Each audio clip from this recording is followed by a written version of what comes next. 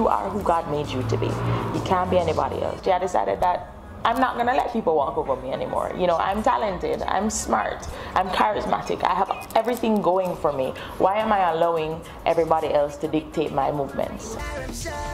Um, I think of my life as a journey where I just, there are no limits. You know, whatever you feel in your heart you want to do and you can do, I really believe that you should.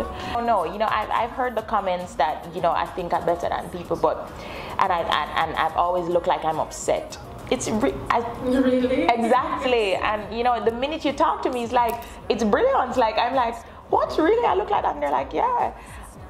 I'm I had a really low self-esteem in high school. Okay, maybe not really low, but it was low. You know, as a tomboy, as one of the boys, I played every sport.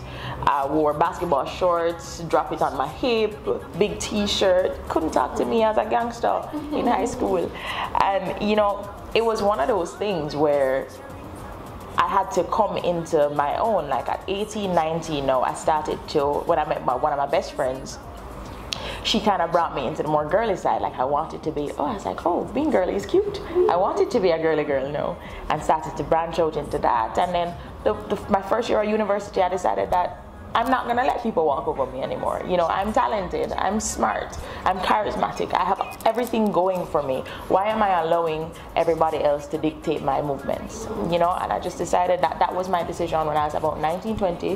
That was my decision to self-confidence, and I never looked back.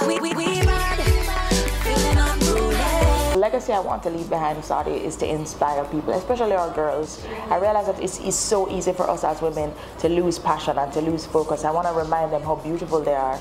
You know, no matter what skin color, no matter what height, no matter how you look, you're beautiful. And it's not about being the best it's about being your best. That's something my mom drilled into my head from a very young age. Don't compete with anybody. Don't red eye for people things.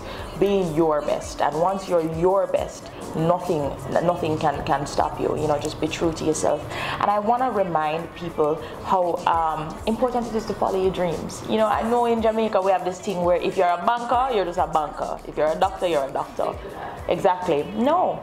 If you have dreams, you should follow them because you don't know what's going to happen you have absolutely no clue. Life is so unpredictable. Follow your heart.